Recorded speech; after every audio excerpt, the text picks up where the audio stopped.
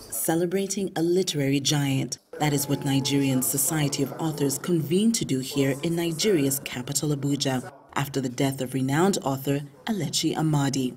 They say they continue to stand as gatekeepers in protecting the basic rights of freedom of expression and professional interests of writers. Elechi Amadi's voice is strong, especially with his prose. His language is very fluid. You want to follow him from the beginning to the end. This community of writers are taking part in a short essay writing competition in honor of Elechi Amadi's work. Alechi Amadi shaped so many young adult perspectives on African literary arts when his novel The Concubine was embedded into the National Secondary School curriculum. Many of those writers are now part of a literary society meeting here in Abuja.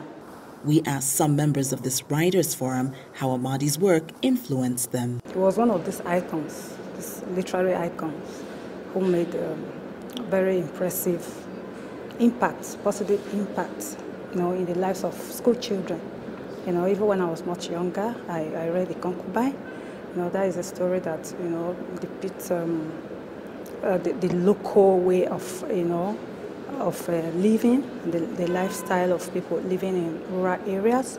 Even as young as I was, when I read the story, you know, I could you know, picture out, you know, the way people live. I read this book, I remember, when I was in my primary school, The Concubine, and it had a great impression on me. He's a great writer in the sense of having a more holistic vision about uh, what he, he, wanted his art to do, reflect the human condition using the characters in some of these uh, uh, plays, in some of these um, um, great works of, of, fiction. I mean, really, The Concubine is perhaps his uh, very best.